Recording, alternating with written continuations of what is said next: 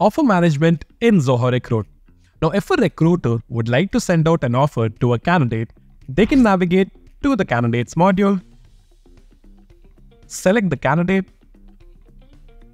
click on the three dotted icon on the right top corner and select generate offer letter. The first step involved is to select the offer template. Now the offer template contains the details of the offer as the document that is going to be sent out to the candidate. The next step involves is to determine whether the offer letter needs to be sent out without e-sign or with e-sign. And within without e-sign, the candidate will have the option to either accept or reject the offer and you can also select the email content that is sent out to the candidate as part of the email template. And then if you select with e-sign, the offer letter will be sent out for digital signature to the candidate where the digital signature from the candidate's end serves as the offer acceptance. But keep in mind, if you need to use with eSign, you need to integrate your Zoho Recruit account with Zoho Sign, which will also need for you to have a Zoho Sign subscription. So once you've determined the offer letter signing method, whether e-signing is required or not, you can then go ahead and populate the basic information which involves the job opening for which the offer letter is being processed for. The department name is auto-populated because it is linked to the job opening. You can then go ahead and add your employment information. You can add the compensation amount and determine whether this is being sent out per month, per week, per day, per week or per year. And then you can select the employment type as permanent and then you can select the joining date of that particular candidate as well. Now, if you select the employment type as contract, you will be required to add a contract start date, contract end date, and a reminder for the contract expiry as well. Once you've added the employment information, you can select who the offer owner is going to be, and then you can add any additional custom details as well.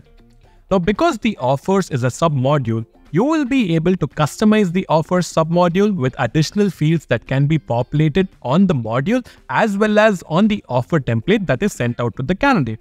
So once you've added the additional custom information,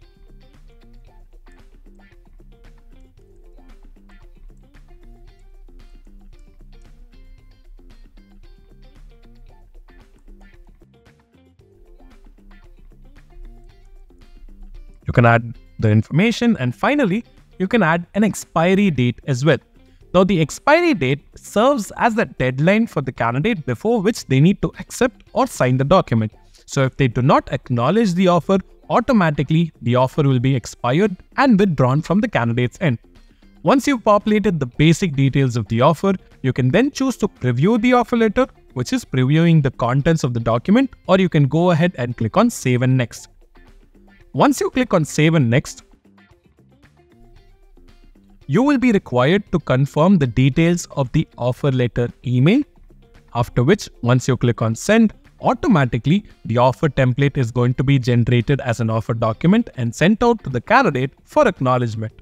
At which point, this is going to be logged within the offer letters related list on the candidate record.